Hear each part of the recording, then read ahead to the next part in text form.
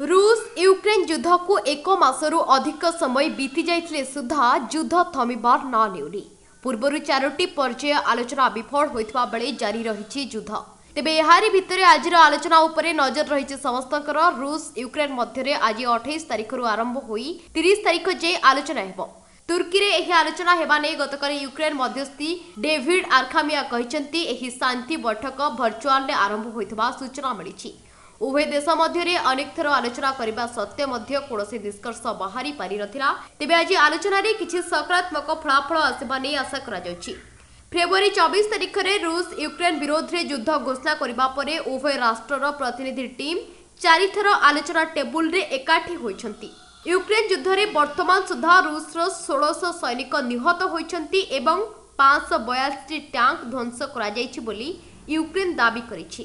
କିନ୍ତୁ ରୁଷର ତେରଶହ ଏକାବନ ଜଣ ସୈନିକ ନିହତ ହୋଇଥିବା ବେଳେ ତିନି ହଜାର ଆଠଶହ ପଚିଶ ଜଣ ଆହତ ହୋଇଥିବା ବିଷୟ ଗତ ଶୁକ୍ରବାର ମସ୍କୋ କହିଥିଲା।